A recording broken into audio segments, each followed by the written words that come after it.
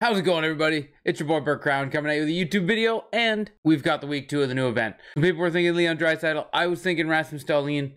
I thought for sure with Auston Matthews coming out, it'd be a defenseman as a second pick. It was a defenseman, wasn't Rasmus Dahlin. It was actually better. Leave in the comment section down below if you think this MSP is good, because the MSP list of great players, we're going to look at them all. But the main one, Dougie Hamilton, is huge for Hut Boys. I'm excited to get him. I'm excited to use him. And I want your thoughts down below. Let's look at the new event, everything we need to know. And they added two new cards that makes the diamond set actually kind of valuable. So let's look at it, see what we think. So here's the Dougie Hamilton, the exact same as the Auston Matthews. You get the 50 cards by doing your Hut Rush, by doing your objectives, by doing everything just like the Auston Matthews. And you can also build them in sets just like the Auston Matthews. Now they are giving us a Thomas Chabot, 86 overall Thomas Chabot, and a ton of power up collectibles, which is nice because as you know, power up collectibles are an absolute must this year in this game because it's everything. It's not event collectibles anymore, it's everything. And then we look at Hut Rush. We're gonna see that Hut Rush is going to have pretty much two new cards for the event, all the gold players that you can turn into team builders or whatever you want to do with your gold players. And then power up collectibles, and your Dougie Hamilton collectible. So you're going to see gold players, gold players, five Hut Rush, which again, turn your Hut Rushes into diamond collectibles, guys. And I'm going to show you what you can do with those because they gave us two new cards that are really exciting. Charlie Coyle, Joe Pavelski, that's nice, 12 Hut, Hut Rush collectibles, gold players, event collectible, event collectible, elite pack, power collectible, and your Dougie Hamilton collectible. So going to Hut Rush is actually beneficial. Not only do you get two event cards to help you build one of these three beautiful cards in Sorokin, Erik Karlsson, Elias Pettersson, Kirill Kaprizov, Mikko Rantanen, and your master master, if that's what we want to call him, the master master set player, Dougie Hamilton. Then Jesper Bratt, which I know this card's gonna be fast. He's gonna he's gonna be crazy. Brock Nelson, there's our Rasmus Dahlin. He made it, but not quite where I thought. Mackenzie Weegar, Jeremy Swayman, and Ryan Nugent Hopkins. Good good names.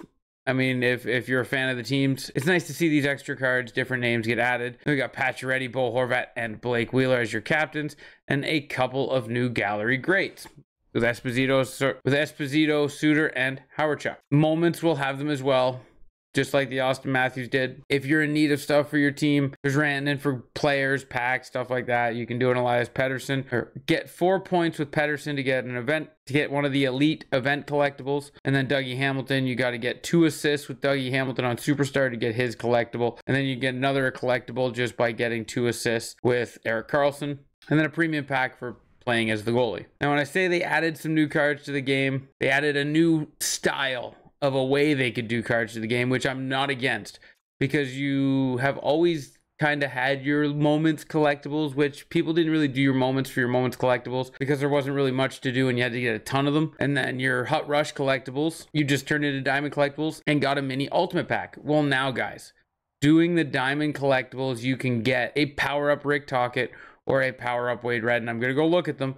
You can still get the mini ultimate pack you can also now get an ultimate choice pack with 20 diamond collectibles. So it's starting to make the diamond collectibles a little more uh, worth going after. I wouldn't recommend them with rivals still. In squad battles, if you want to do it, you can, but I, the value's still not there for me. But Hut Rush, definitely go get your Hut Rush collectibles. Turn them into diamonds Because instead of getting mini ultimate pack, which is just going to be 980 plus 80 pluses, which is to give you a couple 82s, couple 81s. You can go and get yourself a Rick Tocchet or a Wade Redden that's 84, but you can power it up to an 83. So I like this. But when we look at the cards, how do they look, right? So we got Wade Redden we'll look first. If we power Wade Redden all the way up to a 93, which will take 21 power collectibles, you get 94 speed, 94 acceleration, 90 endurance with 95 balance, good mid 90s shooting, 95 defensive awareness. This card looks good. 90 body checking, 92 strength. Then he comes with two-way defenseman, offensive defenseman, acceleration boost, defensive boost, and checking boost. All very nice. And then shutdown, thunderclap, elite edges, and quick pick. Not a terrible card if you're a fan. This is exciting stuff because if it, it's a different name that's good and we might be able to see him out on the ice. The Rick Tocchet, again, 21 collectibles. You get 95 speed, 95 acceleration with mid 90s shooting, mid 90s hands, 90, 96 body check with 95 stick check and 90 defense. This Rick Tocchet card is really good as well. Again, if you're a Philadelphia fan, this probably excites you a little bit. Enforcer forward, again, now you can get him up to 97 speed if you can get Enforcer forward activated. Really nice. And then checking boost and shooting boost to help him get his shooting into the high 90s instead of the mid 90s. Again, really nice. Unstoppable force, back at you. Close quarters and gold truculence. If you're going to build one of these two cards, I think Rick Tocchet is is a good one to build. But now for those MSPs. Kirill Kaprizov 510 is a little small, but with Protect the Puck, how overpowered Protect the Puck is in this game, the size really doesn't matter. You can hit Kaprizov with just about anybody. If if the player is protecting the puck well, he's just going to slide off them or bounce off them and you're not going to be able to hit them. So don't let the size scare you away. Protecting the puck is key with little players. Then we got sniper forward, playmaking forward, dangler, shooting boost, and playmaking boost. 95 speed is nice. Make it snappy, wheels, backhand beauty, and elite edges. Pretty much a 99 sniper on this card, especially if you put the shooting boost on him. Then you can just get him right up to 99 shooting. He'd have an absolutely nasty shot. Erik Karlsson, six foot, again, 96 speed, 96 acceleration, mid shooting, mid hands. defensive awareness is at 90 with 96 stick check. It's a good looking card as well. Another one that is a very good build if you're a Pittsburgh fan, San Jose fan, even, or an Ottawa fan. Seeing eye, tape to tape, stick him up, and elite edges. I like Seeing Eye and I and I like elite edges. I think they'd be very good on uh, Erik Karlsson. Offensive defenseman and two-way defenseman. Pair that with accelerator boost, defensive boost, and checking boost. Another well-built card, and I still, I still just love this card art. Sorokin, I have Shesterkin, so I will not be building the Sorokin card. But if you're looking for speed boost and acceleration boost as a combo, there's one right there. Defensive boost, playmaking boost, and shooting boost also come on this card. 99 speed, 69 aggression. Nice build here at six foot three. Light work, post to post, butterfly effect, and showstopper are his abilities. Then we have Elias Pettersson, six foot two, a very light at a 176, but 94 speed. Again, pretty much 99 shooting, mid 90 hands, 90 face off. So he's not really a face off guy. He comes with power forward, playmaking forward, shooting boost, speed boost, so you can get him up to 96 speed, and and dangler.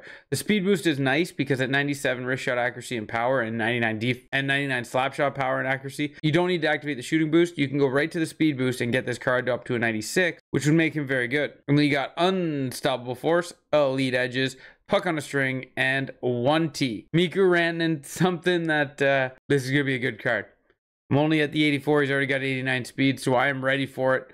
I hope you guys are.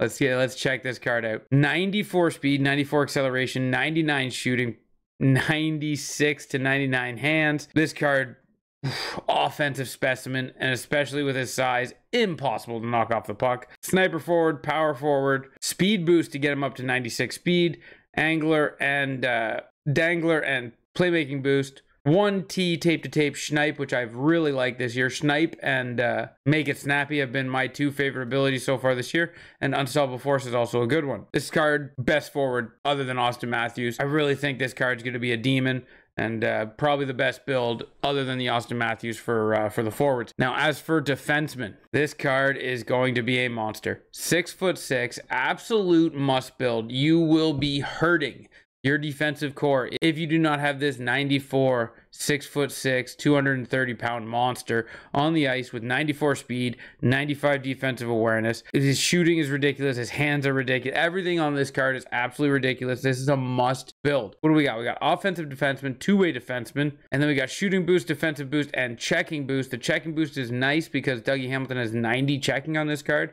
They throw the checking boost on there. You bump him up a bit. He's not going to need it. The size is nasty. This card is actually unbelievable. Heat Seeker with Quick Pick in reverse and Shutdown. I'd probably do Shutdown and Quick Pick on this card and uh, just see how it goes from there. But unbelievable build. Dougie Hamilton is an absolute must. So I got some rearranging to do, guys. I have five new MSPs to add to the team. Line A is going to be gone.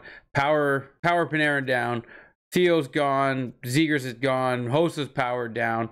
Everybody's going to be slowly taking off this team and power down. And then we have to add in here, we got to get rid of Rob Blake and add in the Dougie Hamilton, which I mean, McAvoy's going to go down, Dougie Hamilton's going to go in, and we're going to see how this card plays. If you want to check this card out, I will be playing with these MSP cards on Sunday in Champs. 7 a.m. is when I'm going to start. Who knows when I'm going to finish? I am going to go from like 7 to 7 probably tomorrow. There will be a little break in there for lunch. Probably going to be a Tez takeover for two hours while I do that. But Sunday is going to be an extremely long day of playing champs with this team. If you want to come check it out, Burt Krown 88 on Twitch. Absolute amazing, guys. Absolutely amazing event. I love the MSPs from this event. And I love what they're doing with the diamond set. The diamond set, having those power up cards gives value to those collectibles, and I like that. I like I like when you can give in cards that people can power up to change teams around and have different teams because those two cards are actually nice. Rick Tocchet's the better one in my opinion. But go check out those cards, guys. Go build them up. Go enjoy it. Go have fun.